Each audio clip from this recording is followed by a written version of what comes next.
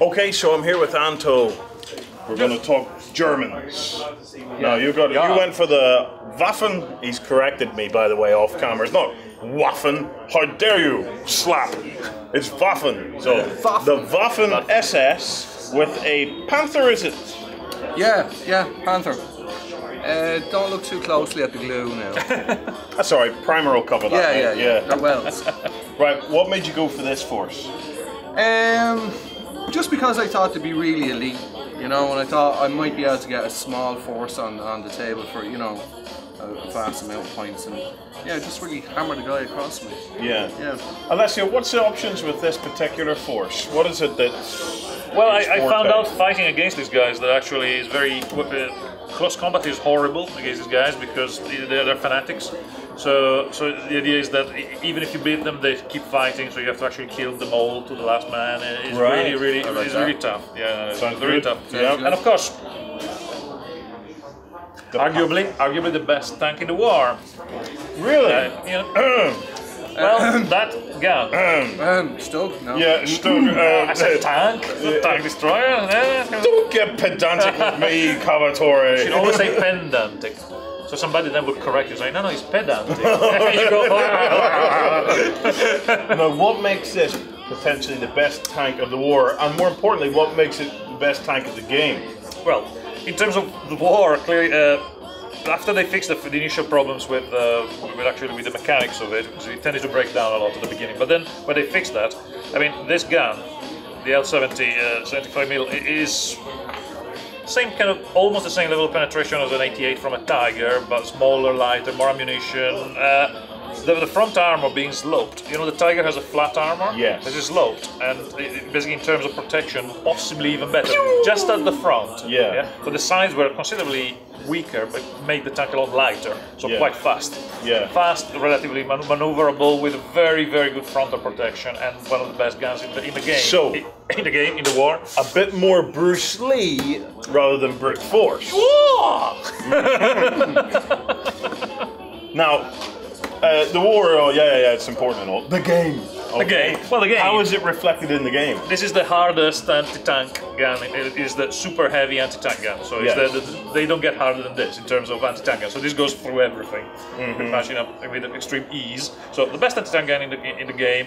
For armor 10, same as, a, as a heavy tank, Mm-hmm. even though it's a medium tank.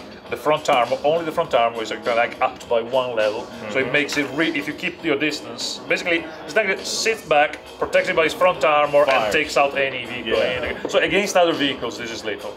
Are there any options for it? Can you stick flamethrowers or anything on that? That'd be nice. It would be nice, wouldn't it? Why does he always get to the flamethrower? Well, you know, flamethrowers driving over people, you know? It's, it's, it's barbecue material.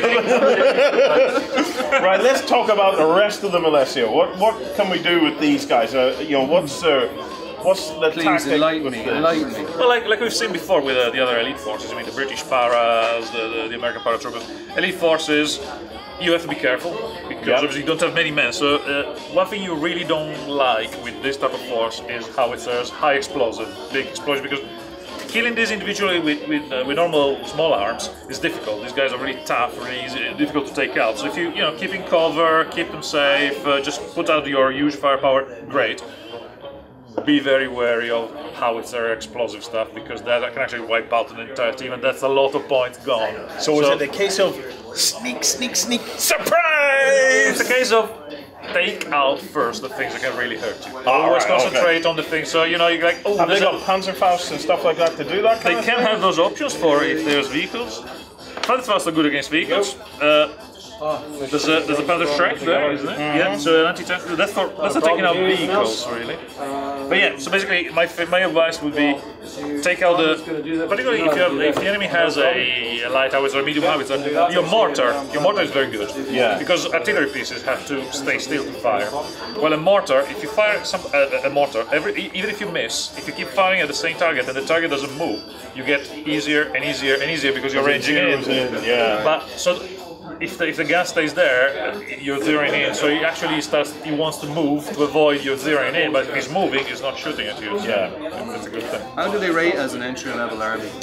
Well, you have fewer models to move, which in a way makes it easier because you have fewer things to think about. Uh, but just how the game works at pinning and that with fewer units, it's, it's putting you in the back four really. you? If, if you if you rely a lot on, on pinning the, the enemy, absolutely. Uh, it's more, I mean, four armies with more units, the better. But these guys rely on basically the, the strength firepower of Basically, their. I can just pick something on the other guy's army and delete if I want it. What yeah. kind of weapons have you given them? Um, I don't know. Kristen gave me a hand picking what was there, so uh, Looks like a whole bunch of machine guns to me. Yeah, machine So- guns is a good option. Yes, indeed. Germans tend to do well. I see assault rifles. Assault rifles are very good. Yeah, yeah. Assault rifles are also. They're, Yeah. you know, amazing game. Uh, Yeah. They, they, Well, we will keep a close eye on this army during the boot camp and see how you get on. We've talked to these guys today as they've been building their armies, but we will go back around and visit each of them again after their first day's gaming, just to see how you feel about your army once you've had a chance to play it. Alessio, thank you very much. Anto, thank, you for you. that. Right, we're starting to draw to a close. The armies are almost ready. It's almost pub time. Remember, you could win one of three D-Day Firefight two-player starter sets. And to be in with a chance of that, all you have to do is put comments in and around all this boot camp stuff this weekend, and we'll be picking three winners at random. Right, I think that about wraps it up. I think I want to go and talk to John about his uniform.